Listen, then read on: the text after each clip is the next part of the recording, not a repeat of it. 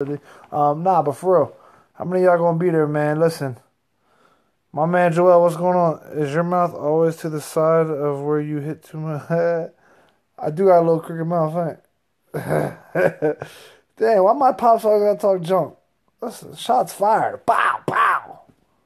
Um, March 17th, man, Reading, PA.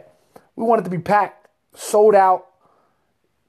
Your own fighter, Travis My Time Kauffman, fighting Amir Mansour in Reading. It'll be on live national television. We're still trying to find out the network as of right now.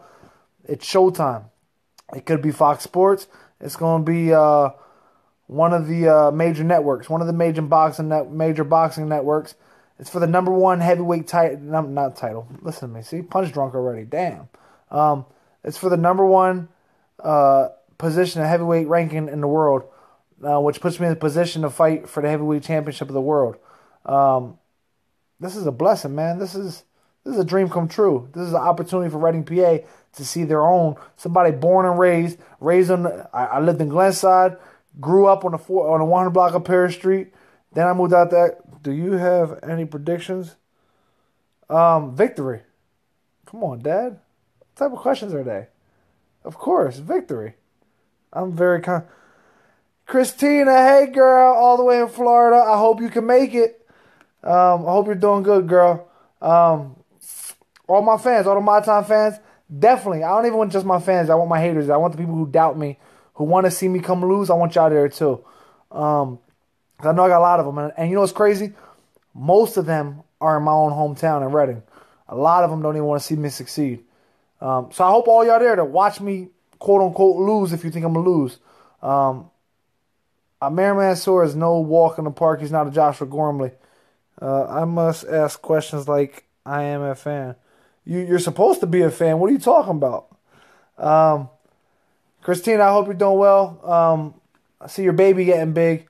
Um, you know, me, you go back. Secret lovers. That was our days back in the day.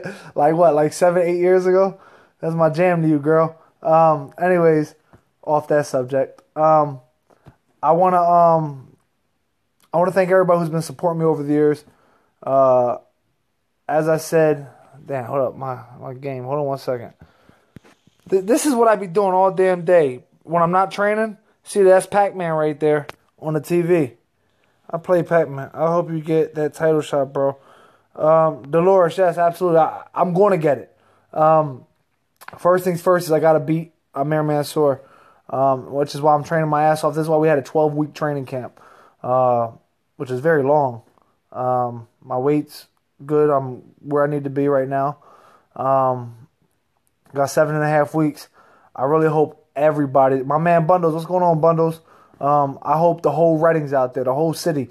Whether you support me or hate me, be there. I know a lot of people want to see me lose. Come out and watch it. Make your predictions. Put money up. Um, I'm sure there'll be some bets going on. Um, put your money up. Uh, like I said, man, most of my haters are from my own hometown, and it's crazy, man, because I do a lot for my city, a lot for my city, um, and this is going to be a huge opportunity, man. Like I said, uh, man Mansour ain't no walk in the park, man. He ain't no Joshua Gorman. He's not going to take a dive. Um, he's coming to fight. Um, he's coming to to make a mark. He's tough. He can punch. He's fast.